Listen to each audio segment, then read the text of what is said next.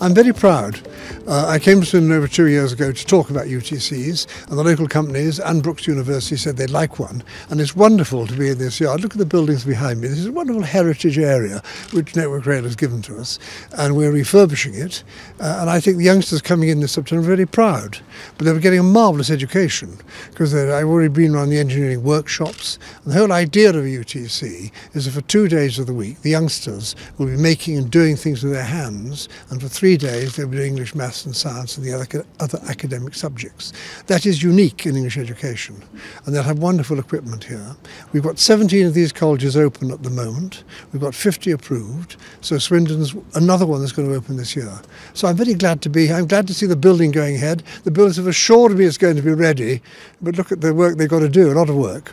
Uh, the other thing about UTCs, we're very proud of the fact that our target is that when youngsters leave at 16 and 18, no one becomes unemployed. There are no NEETs.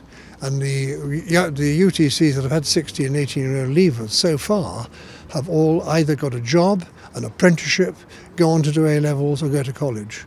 Now that's a good record for any college. Honda is going to produce projects for the students to work on. And uh, so therefore the managers of Honda will come in and teach these projects. And the youngsters will love going to the Honda plant. And the same with the Davy fuel cells. They're going to teach physics here. And uh, this is how it is. We want to bring business in to do some of the teaching. We also want the university to come in to take an interest in students. Pupil teach pupil mentor. Some will want to go on to university some won't. But they're all going to have a very useful career and life after going to this college. This is a pathway that's just slightly different from just three A levels in university. This is a pathway to a good career, a good life, good employment.